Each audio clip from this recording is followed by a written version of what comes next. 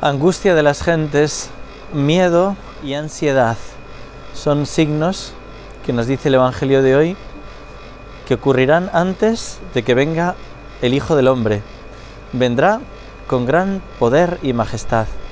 Por eso, cuando veáis que ocurren esas cosas, alzad vuestra cabeza, se acerca vuestra liberación.